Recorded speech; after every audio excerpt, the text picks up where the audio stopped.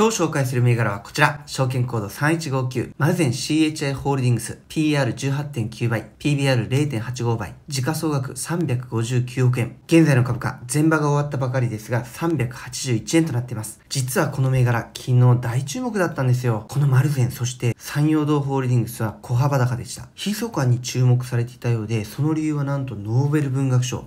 まさかね、ここでね、ノーベル文学賞が出てくるとは思わなくて、まあ、村上春樹氏の受賞に期待が高まるほか、ドイツ在住の日本人作家である田和田陽子氏も候補に挙げられていましたよね。お二人のどちらかが受賞した場合、書店関連株などが物色されると予想されていました。僕はですね、文教堂グループホールディングスやブックオフなど書籍関連の株も色々持っているので、この情報を入手した時にはちょっと驚きました。まあ、結果としてね、残念ながら日本人受賞ならず、昨夜の発表でアフリカ・タンザニア出身の作家、植民地主義の影響や難民の人生を題材にした作品を発表しているアブドゥル・ラザク・グルナ氏に決定しました。年間チャートはこちらです。証券コード3159マルゼン CHI ホールディングスは書店を運営している会社です。実店舗のマルゼンや純駆堂のほか、本と電子書籍の両方を販売するオンライン書店本とを展開。利用者が様々な形で本を楽しめる取り組みをしています。また、地域や学校の図書館に向けた本の販売をはじめ、学術研究のための構成作業や翻訳サービスなど教育機関のサポート事業も行っています。株主優待はマルゼンのほか、グループ店舗で使える優待買い物割引券がもらえます。僕は昔池袋に住んでいたことがあって、純駆動にはよく行ってました。この優待買い物割引券100株からもらえます。100株で500円相当、200株で1000円相当、500株で2000円相当、2000株で3000円相当、3000株で4000円相当、4000株で5000円相当、5000株で6000円相当となっています。権利確定日は7月年1回です。では早速こちら開けてみたいと思います。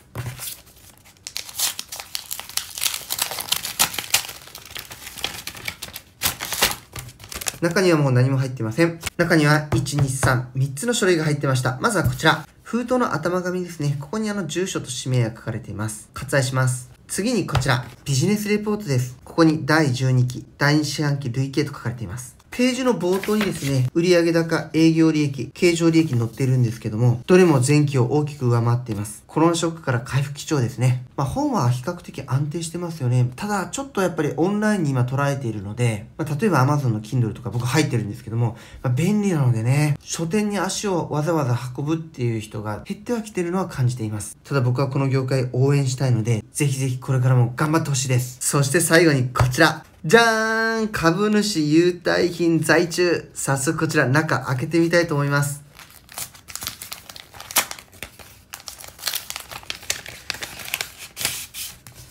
中にはもう何も入ってません。中にはこの2つが入ってました。こちらはですね、商品券ご利用店舗一覧。たくさんありますね。見てください。全国にこんなに。まあ、池袋の純駆動が一番いいんだろうけども、まあ、近いところだと中央線沿いがいいかな。いくつかあるので行ってみたいと思います。そしてこちら、じゃーん !500 円の商品券ゲットしました。僕は100株だけだったのでこれだけなんですけども、次回はね、もうちょっと多めに買いたいななんて思ってます。今回ね、初めて取得した銘柄なので、だいぶチャートの動きも分かってきたので、今度ね、ここまで下がったらっていうラインを決めて、買い増しを図りたいと思います。最後に参考として配当の推移はこちらです。まあこちらはね、ちょっとしたプレゼントでもらえたら嬉しいくらいです。配当金あるだけでもいいですよね。この銘柄を買う方はおそらく配当目的の方は少なく本が好きか丸善純駆動のファンという方が多いのでしょう。メインのユータを使ってお買い物楽しみたいです。ということで今回初めて手を出してみた銘柄だったんですけどもまさかここでねノーベル文学賞が株価に影響を与えるとは思ってもみなかったです。やっぱりね投資家の方々っていうのはすごいですね。世の中のいろんな動き見てらっしゃるんで、